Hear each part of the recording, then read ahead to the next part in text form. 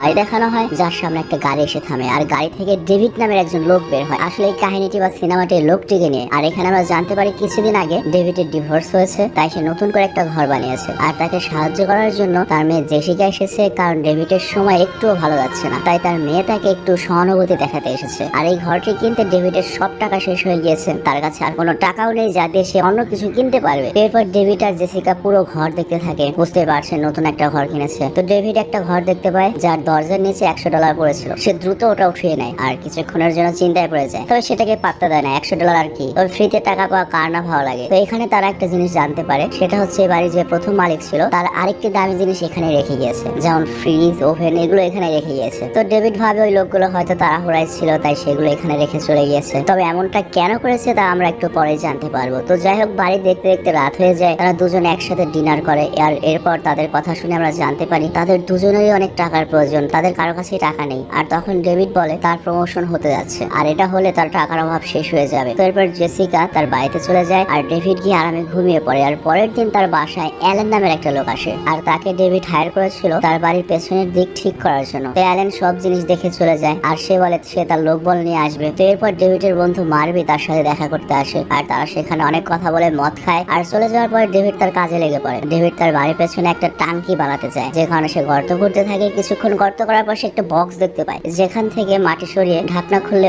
অনেক টাকা পায়। এমনকি সেখানে একটা বৃদ্ধ লোকের লাশও দেখতে পায়, যেগুলো দেখে ডেভিডের হুশ উড়ে যায়। কিন্তু লোকে বলে, না, তোমার কাছে যদি টাকা না থাকে, তাহলে মানুষ তোমাকে জিজ্ঞেস করবে, কেমন আছো? কিন্তু কেউ টাকা দিয়ে সহায়তা করবে না। এই জন্য টাকা পেলে চুপচাপ করে থাকো। তো ডেভিডও এখানে তাই করে, সে সব টাকা বাড়িতে নিয়ে আসে এবং টাকাগুলো চেক করার পর জানতে পারে এগুলো সব আসল টাকা। তো ডেভিডের এখন খুশির কোনো ঠিকানাই ছিল না। আর অন্যদিকে সে কিছু বুঝতে পারছে না। সে যে একটা লাশ দেখেছে, এটা কি পুলিশকে জানানো উচিত? কিন্তু পুলিশকে যদি কল করে তাহলে সব টাকাও তো চলে যাবে। তাই সে নিজেকে অনেক বোঝায় আর এরপর সে ঘুমিয়ে যায়, কিন্তু মাঝরাতে সে কোনো কিছুর আওয়াজ শুনতে পায়। মনে হচ্ছে তার ঘরের ভেতরে কেউ হাঁটছে। আর এরপর সে যখন ঘর দেখে কাউকেই দেখতে পায় না, আর পরের দিন অফিসে গিয়ে তার বন্ধুর কাছে টাকার ব্যাপারে জিজ্ঞেস করে। যেমন সে বলে, তার একটা আঙ্কেল আছে, যার কাছে দুই মিলিয়ন ডলার রয়েছে। সে কি ইচ্ছে করলে সেগুলো ব্যাংকে রাখতে পারবে? তখন তার বন্ধু তাকে বলে, যদি টাকা ব্যাংকে রাখোস, তাহলে সবাই জিজ্ঞেস করবে, টাকা তুই কোথায় পেয়েছিস? তো এই জন্য তোর আঙ্কেলকে বল, টাকা ব্যাংকে রাখার দরকার নেই। এরপর ডেভিড বুঝতে পারে তাকে টাকাগুলো লুকিয়ে রাখতে হবে, এভাবেই খরচ করতে হবে। কিন্তু ডেভিড চায় না সেখানে এক্স্যাক্ট কত টাকা রয়েছে। তো এই জন্য একটা টাকা গোনার মেশিন সে অফিস থেকে বাড়িতে নিয়ে আসে এবং টাকা গুনতে থাকে আর সে জানতে পারে এখানে দুই মিলিয়ন নয় টোটাল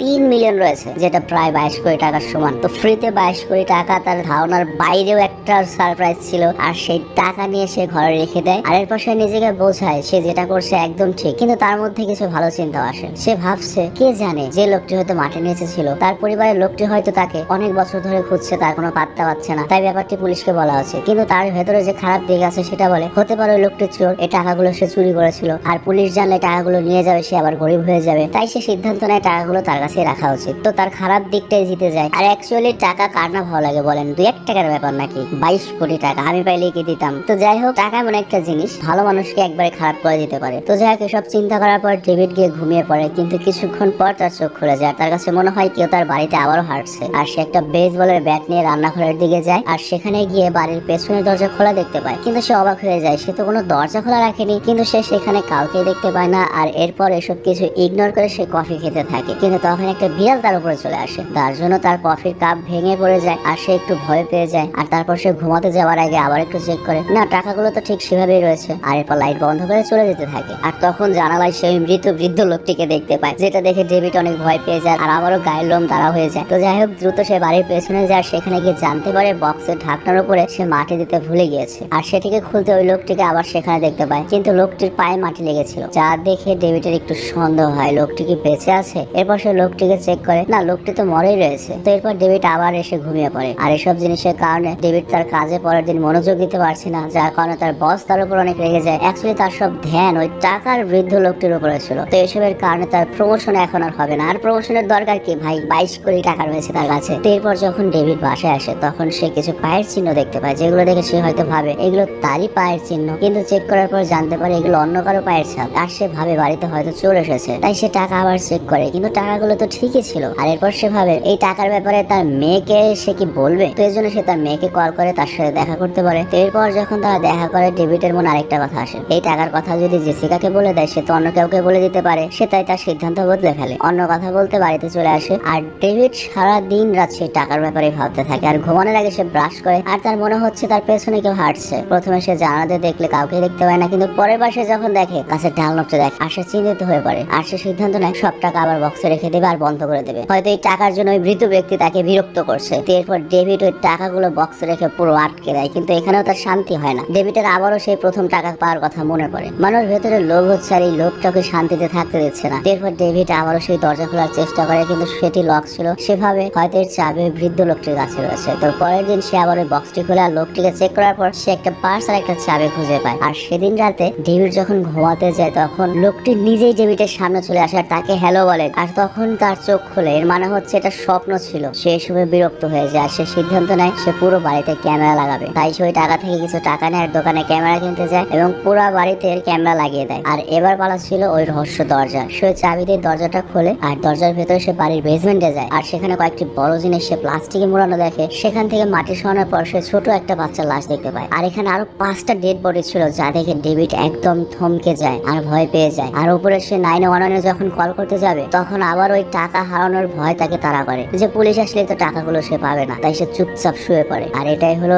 টাকার শক্তি এবং লোভের শক্তি। তো এরপর মাঝরাতে আবারও কারও পায়ের হাঁটার শব্দ পায়, কিন্তু এখন সে ক্যামেরা লেগে রেখেছে। তো তাড়াতাড়ি উঠে ক্যামেরা রেকর্ডিং চেক করতে থাকে, আর তারপর সেখানে সে ওই লোকটিকে পেছনের দরজার কাছে দাঁড়িয়ে থাকতে দেখে। আর ডেভিড বুঝতে পারে এই সব কিছু বৃদ্ধ লোকটি করছে। আর তারপর সে দৌড়িয়ে সেই জায়গায় যায়, কিন্তু তাকে সেখানে পায় না। তাই সে বাড়ির পেছনের দরজায় যায় আর সেখানে যেতেই ওই ভাঙা কাপে টুকরা তার পায়ে গেঁথে যায়। কিন্তু কোনো রকম বৃদ্ধ লোকটির বাক্সের কাছে পৌঁছায় আর ঢাকনা সরানোর পর ওই লোকটিকে শুয়েই থাকতে দেখে, যেমনটা আগেই ছিল। আর তখন ডেভিড লোকটির কলার চেপে ধরে চিৎকার করে, বলে, আমার সাথে খেলা বন্ধ করো, তা না হলে তো অনেক খারাপ কিছু হবে। আমি জানি তুমি বেঁচে আছো। আর তাকে দাঁড়াতে বলে, কিন্তু লোকটি কোনো রেসপন্স করে না। আর তখন ডেভিডের হুশ আসে সেভাবে না, তুমি তো? আর তখনই সেখানে ঘুমিয়ে যায়। আর পরের দিন সকালে ঘুম ভাঙলে সে নিজেকে ওই বৃদ্ধ লোকটির উপরে দেখে আর দ্রুত বাড়িতে এসে রেডি হয় অফিসে যাওয়ার উদ্দেশ্যে। কারণ অনেক লেট হয়ে গিয়েছে। কিন্তু সে যখন গাড়িতে বসে, তখন ওই লোকটিকে তার দিকে আসতে দেখে। আর এখন সে সকালবেলায় লোকটিকে দেখছে। তার মানে সে সত্যি জীবিত রয়েছে। আর ডেভিড গাড়ি থেকে নেমে ওই লোকটিকে দাঁড়াতে বলে। আর লোকটি ডেভিডকে নিজের দিকে আসতে দেখে আবার বক্সে গিয়ে শুয়ে পড়ে। আর তখন ডেভিড তার কাছে যায় এবং তাকে ধরে বলে, আমি জানি তুমি বেঁচে রয়েছো। তুমি মজা করো না আমার সাথে। কিন্তু ওই লোকটি কোনো উত্তর দেয় না। আর এইসবে ডেভিড বিরক্ত হয়ে একটা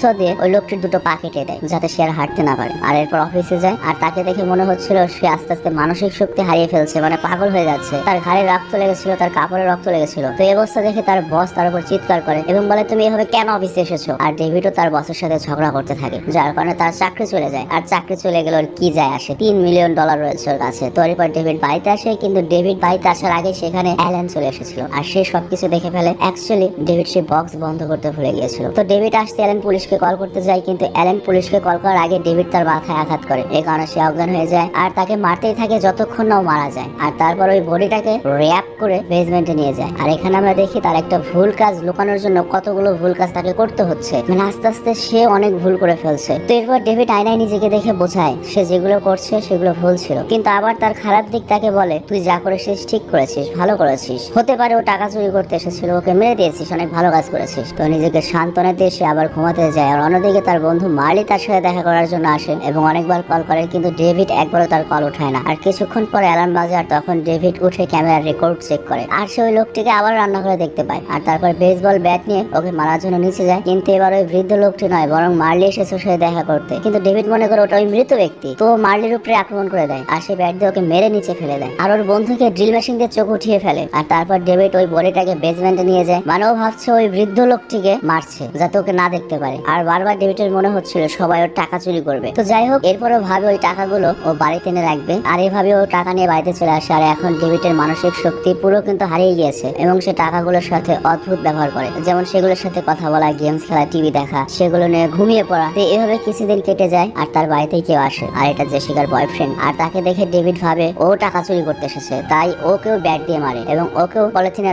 র্যাপ করে বেসমেন্টে নিয়ে যায়। কিন্তু এখনও সে বেঁচে ছিল। কিন্তু ডেভিড তাকে জীবিত সেখানে রেখে আসে। আর কিছুক্ষণ পর ডেভিডের কাছে জেসিকা আসে। কিন্তু সে জেসিকাকে মারে না, কারণ হাজার হলো ও মেয়ে। কিন্তু এখানেও টাকা আবার জিতে যায়। সে জেসিকাকে মারে না ঠিকই কিন্তু বেসমেন্টে নিয়ে যায় আর তাকে বলে, জ্যাক নিচে আছে। আর জেসিকা এখানে এসে জ্যাকের অবস্থা দেখে অবাক হয়ে যায়। মানে জ্যাককে মানে জেসিকার বয়ফ্রেন্ডকে পুরো প্লাস্টিকে কাভার করা হয়েছে। কিন্তু তখনই ডেভিড জেসিকাকে মেরে অজ্ঞান করে দেয় আর তাকে সেখানে বেঁধে ফেলে। আর ডেভিড তাকে জিজ্ঞেস করে, আরও লোক কখন আসবে বলো? মানে ডেভিডের মনে হচ্ছে ওরা সবাই প্ল্যান করে টাকা চুরি করার জন্য আসছে। এবং সেই জন্য সবাইকে একের পর এক মেরে যাচ্ছিল। কিন্তু জেসিকার কিছুই বুঝতে পারে না। আর এই জন্য ডেভিড ওকে রেখে উপরে চলে আসে। আর তারপর ডেভিড আবার আয়নায় নিজেকে দেখে। আর ভাবে, এগুলো কি সবকিছু টাকা টাকার জন্য হচ্ছে। সে এরপর সিদ্ধান্ত নেয় সে ওই টাকাগুলো জ্বালিয়ে দেবে। আর সে যখন টাকাগুলো পুড়িয়ে দেবে তখন তা সে এমনটা করতে পারে না। কারণ টাকাগুলো তার জীবনের চেয়ে অনেক বেশি প্রিয় হয়ে গিয়েছে। তার কাছে শুধুমাত্র একটা অপশনই ছিল। সে করে কি টাকাগুলো নিয়ে বাড়ির পেছনের দিকে যে জায়গাটা রয়েছে, সেই বাক্সে রেখে নিজেও জীবিত দাফন হয়ে যায়। মানে বুঝতেই পারছেন, টাকাগুলো পুরাতে পারল না, মায়ের জন্য